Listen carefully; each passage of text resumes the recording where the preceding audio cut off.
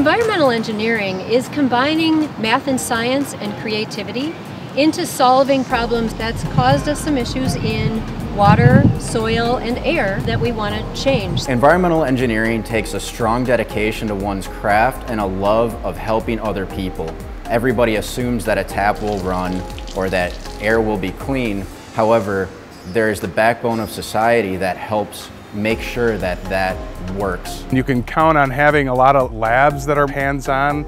UWM has an, an, excellent hydraulics lab and uh, they get really involved in some of the soils labs and water chemistry labs. That's kind of something that I think a lot of students who go into it really enjoy. There's a lot of research and studies going on between the university and the industries. Now being outside of the college world, I do see why UWM has such a good reputation. I had three paid internships. I was also helped to get those internships from the college guidance counselors at UWM, which was really awesome that they had connections locally able, being able to help me get a job and have that experience. Being a part of a competitive program helped allow me to be competitive in the job market. When I know that they've graduated from UWM, and many of them have done things like Engineers Without Borders, which shows me their compassion for communities, that's the stuff that, that really makes them shine.